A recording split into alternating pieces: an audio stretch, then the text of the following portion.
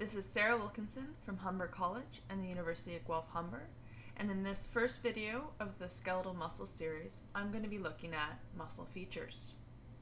After this video, I'm going to cover the neuromuscular junction, the sliding filament theory of muscle contraction, and different types of contractions. So let's jump right in. Tendons connect skeletal muscles to bones. So on the left diagram here, you can see we have the Achilles tendon of the lower leg, which is going to connect skeletal muscle to the bone. And over here, as an example, we've got the biceps brachii muscle, which is going to be connected to its bone by its tendon. Tendons are made of connective tissue. Let's have a look at the skeletal muscle. As you can see here, we have the tendon and the skeletal muscle. Within the skeletal muscle tissue, there's going to be many muscle fascicles. Here you can see one muscle fascicle. And if we blow it up, this is in a large muscle fascicle. Let's look a little deeper. So let's blow up our muscle fascicle. And now you can see muscle fascicles are going to contain bundles of muscle fibers. This is an individual muscle fiber and it's bundles. Muscle fibers are the cell of skeletal muscles. Let's take a little closer look at our muscle fiber, which is our skeletal muscle cell. Just like any other cell, there is a plasma membrane. However, in the skeletal muscle, we call it the sarcolemma. Anything that starts with sarco generally refers to skeletal muscle. The cytoplasm will be called sarcoplasm. And the smooth endoplasmic reticulum will be called the sarcoplasmic reticulum, which we'll get to later. There's all the typical organelles that you would find in other cells, such as mitochondria, nuclei, ribosomes, etc. And finally, your muscle fiber is going to be packed full of myofibrils. Let's take a closer look at our myofibrils contained within the muscle fiber. So again, this is our skeletal muscle cell. Here we've got our myofibril. And I've blown it up for you. So what myofibrils are, are bundles of protein filaments, so long proteins. And they're going to be responsible for contraction. So some of the proteins contained within the myofibril include a protein called actin, which you can see here in green, and a protein called myosin, which you can see sort of in this burgundy purple. And again, let's blow this up a little bit. So if we look here at our myofibril and zoom in on something we called a sarcomere.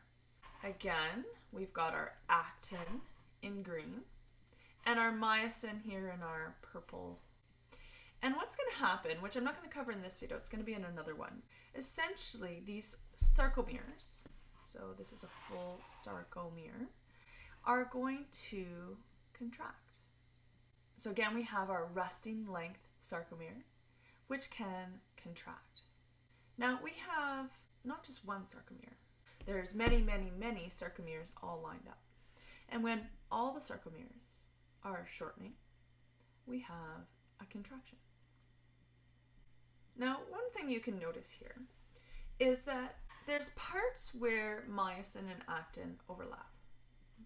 And there's parts where there's just actin, and there's just myosin. So this fact is going to give us the distinct appearance of skeletal muscle.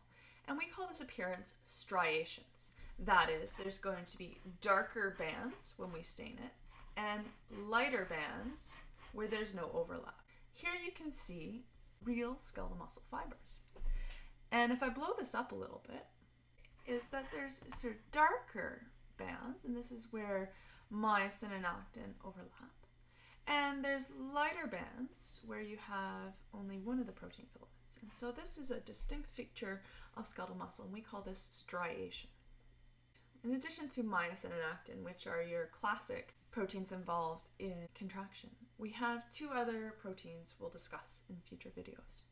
This light orange protein is called troponin, and it's going to be really important because it's going to bind to calcium, so that will come up later on.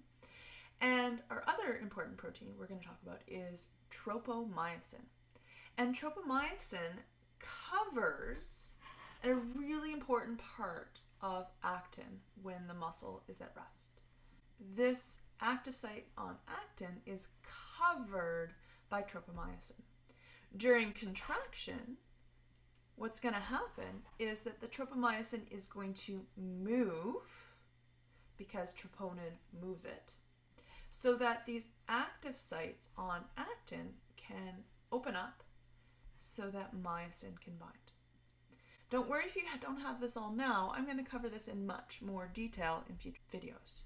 All you need to know for now is the proteins involved in muscle contraction. For those more advanced students of muscle physiology, you'll know that there are more proteins involved in contraction than what I've covered here. But for the basics, we're going to cover myosin, actin, troponin, and tropomyosin. Let's expand back up again.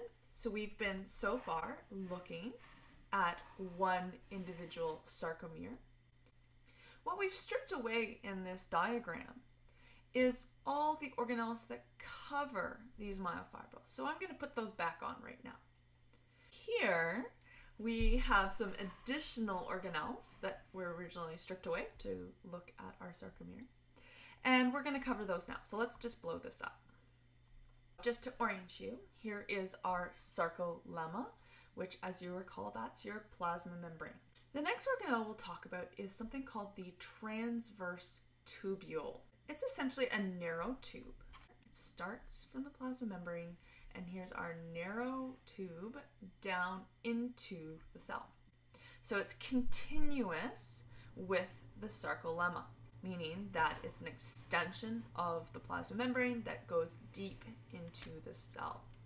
This feature allows an action potential to travel from the cell surface into the cell interior. So I've illustrated an action potential with a little star here, and what you can see is the action potential travels across the plasma membrane and down the T-tubule. This will be really important for initiating contraction. Right beside the T-tubule is the sarcoplasmic reticulum. So here you can see we've got the sarcoplasmic reticulum, this network of tubules and essentially, it's the skeletal muscle smooth endoplasmic reticulum. It surrounds myofibrils and it's going to store calcium. This will become important later on when we talk about action potentials traveling down the T-tubule and causing the release of calcium from this sarcoplasmic reticulum. So let's review. Tendons connect skeletal muscle to bones. Within skeletal muscles, there are many fascicles. Fascicles contain bundles of muscle fibers, which are the cells. Muscle fibers have many of the typical organelles, including mitochondria, nuclei, endoplasmic reticulum, etc. Within the muscle fiber, there are bundles of myofilaments. And these myofilaments are made up of proteins such as actin, myosin, troponin, and tropomyosin. These proteins give muscle its striated appearance. Finally, we covered that transverse tubules are continuous with the sarcolemma and allow action potentials to travel into the cell. So in this video, I've covered some basic anatomical features of skeletal muscles.